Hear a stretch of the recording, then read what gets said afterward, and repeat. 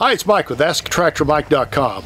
A whole new compact tractor was unveiled this week, and I promise you, it's different than anything you've ever seen.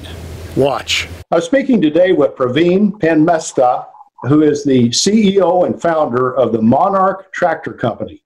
And Praveen, I have not heard of the Monarch Tractor Company until last week, and I'm not sure anybody had. You've had a product introduction this week. Tell us a little bit about the background of the company. Yeah, Monarch Tractor is uh, deploying an all electric, driver optional data hub of a tractor, Mike.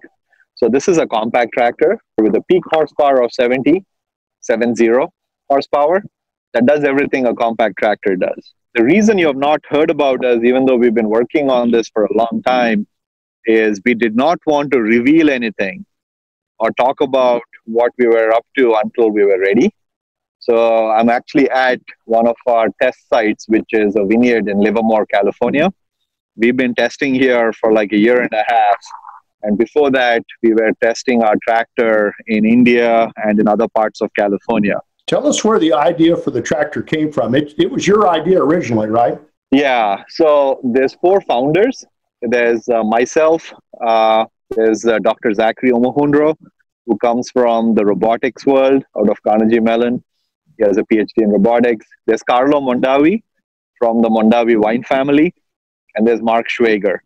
Um, we were all, it's almost like all of us were on different journeys, but we all came together for Monarch Tractor with all of our experience. Uh, the idea came out of some of the work that we were doing in ag, ag tech for all the farmers. A lot of farmers were approaching me in my previous company saying, uh, Praveen and Zach, you guys do robotics well, can you help us make an automated planter, an automated harvester? Um, you know, those kind of robotic solutions. And we did a lot of those. And what we learned each time we went out there, Mike, was uh, apart from doing the operation, which is either planting, cultivating, harvesting, um, you know, we were doing a lot of the same things again and again and again. So we were trying to find power for these machines. We were trying to add GPS for the machines. We were trying to add cameras and computers and all of this stuff. And that's when we were like, hey, you know, if we actually had a next generation tractor that we could plug these quote unquote implements to, then the cost of development and the cost of the implement for the farmer would be a lot less. And that's when we finally we said, you know, we looked around, we thought somebody must have done this, somebody must be working on this, but we realized that none of the big equipment companies are interested in the smaller tractors. They're all focused more on the big commodity crops and the grain. So that's what led us to start Monarch Tractor saying if we had an electric tractor that could power the implements. If he had a tractor that had cameras and sensors that the implement can use, but still is a normal tractor that the implement can attach to. Now farmers can get their operations done at a lower system cost. Since you're in California, there's got to be a huge number of uh, tractors that go in the vegetable and the fruit industry, and, and, and a lot of the pictures I've seen of the tractor, that's where it is. Is that your kind of your target market, or do you see it branching out in other areas as well? Initially, for sure, we are targeting the fruits and vegetables market, the fruits, nuts, vegetables. Um, so the reason for that is, um, you know, compact tractors are used a lot in the fruits and vegetable and nuts market.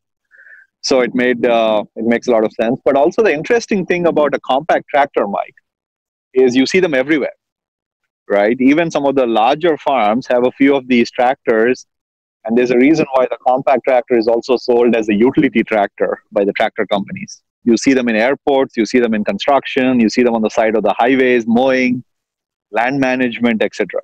Let's talk a little bit about the tractor. Uh, t- tell us about the, the, the power, how that works. Uh, does it have three point and PTO, which I assume it does? And, and just tell us a little bit more about the tractor itself. Yeah, the tractor again is a compact tractor, Mike.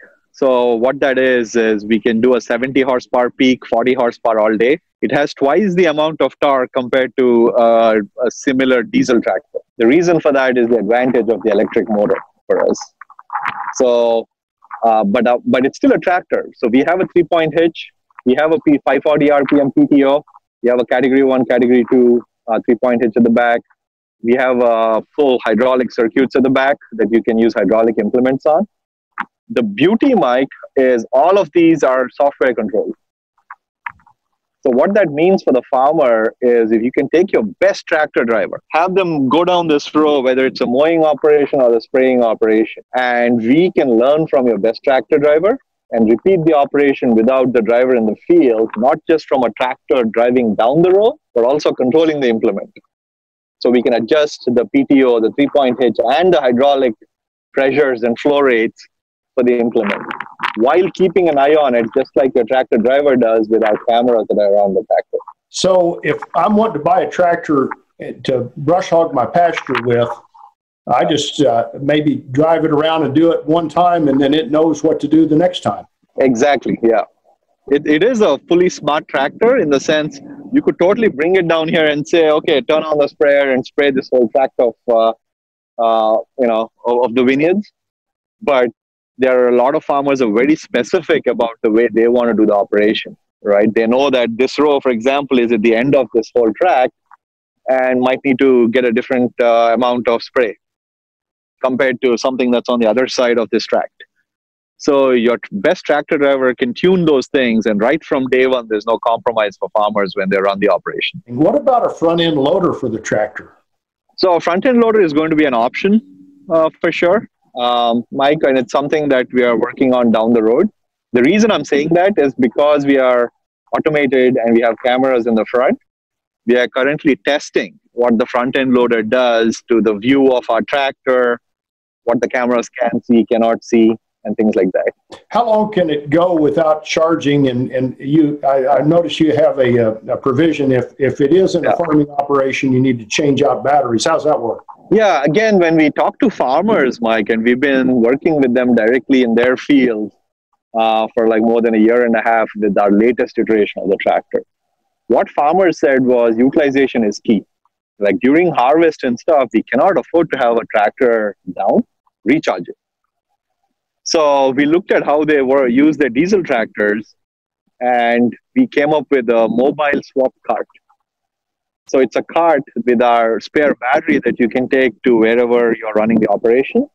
And out in the middle of the field with a single person, you can swap out the battery in our tractor in under 10 minutes. So what that means is it's just like pulling your tractor out to refuel it and sending it back in. You do the same thing with our uh, a swap cart. You know, we, we only think about farming during the day, but if you have an autonomous tractor, it really doesn't care if the sun's up or not on, on most tasks. There's not enough time in the day for farmers today. Uh, so, how can we give you more time? And actually, our tractor is even better at the night because we control the lighting. Our tractor has full work lights on the roof, uh, which allows us to kind of have a very good view around the tractor what's going on. And we also noticed that during the night, there's less interruptions from people walking by, equipment, cars, trucks, you name it, right? So whereas out in the middle of the field, you never know during the day who's going to come by right now, right? So the night operations are actually more efficient. It's cooler temperature, so our tractor uh, with our own lights actually functions even better. Is the technology there to take it up to a row crop application too? Definitely, we are planning to take it one size up and also one size down. But also, Mike, long term, we are not going to be doing a 150 horsepower tractor. Our goal is to take it to the 120, uh, 100, 120 horsepower. The reason for that is right now the horsepower of the tractor, Mike, is dictated by the number of rows you can do with a single driver. So even in vineyards and row crops, you try to do as many rows as possible because you're trying to maximize the the driver time, which is the biggest driving uh, cost component for you as a farmer. With our tractor and decoupling the, the labor cost from it means that you can have two of our tractors doing what a 100 horsepower tractor does at the same or lower cost with much lower labor costs. And now you can actually customize the rows and the applications and the processes for those rows instead of compromising on it. Tell us about the price of the tractor and how will it be distributed? Will you, will you ever have a dealer network on down the road? Our base price is $50,000. For $50,000, you get an all electric tractor. You get basic automation features, which allow you to take the driver out of the seat and run down this row and do the basic operations. You also get the data collection capabilities for $50,000 We have options like four-wheel drive, the front front loader that you talked about, and the battery swap drive. From a distribution standpoint, uh, Mike, what we have seen is farmers uh, have a lot of infrastructure for repair. A lot of the large farms have barns with welders and lifts and things like that that we can use to help them repair, service, and maintain. But we're also starting to talk to uh, some large equipment companies who have existing dealer networks that we can kind of leverage uh, for so service support deployment. So the dealer network or the support people that we are going to bring on board, um, our philosophy is farmer first, with the full right to repair and customize. The service and support network is not a revenue uh, consideration for us. We want to use technology to enable the farmers to repair, maintain, and service their equipment. The maintenance costs are a lot less. All the engine maintenance goes away. Your tier four emissions equipment goes away. So you get a lot of uh, uh, content removed from the tractor, stuff that can go wrong. Since it's electric and uh, we have data on it, very often we can we can identify these issues, Mike, and help the farmer fix it with support from our personnel. You had your product introduction this past Tuesday. When will this product be available to the general farming public or anybody wants to buy one? So we are encouraging people to sign up. Uh, we are taking uh, reservations right now. The tractor will be commercially sold in the second half of uh, next year, 2021. And the reason for that, Mike, is we are still want to make sure that by the time we release it, it's a robust product.